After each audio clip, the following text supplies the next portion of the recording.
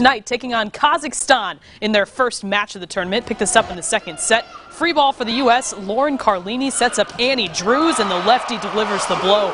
That's a hard ball to defend at 22-9 USA. Moving ahead, set point Carlini, this time going to Tori Dixon, who gets the kill. She'd finish with 10 points on the night. The U.S. takes the second set 25-10. Now to the match point in the third. A service error by Kazakhstan would seal the deal as the U.S. completes the sweep 3 to nothing. They play Bulgaria tomorrow at 5 o'clock. Let's hear from Coach after the game.